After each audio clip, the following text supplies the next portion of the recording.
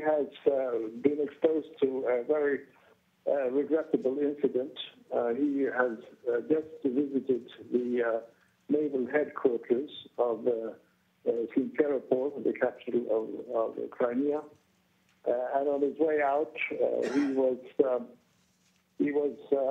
threatened and went into his car, and there were unidentified people, some of them armed, Uh, telling him to uh, leave and go to the airport.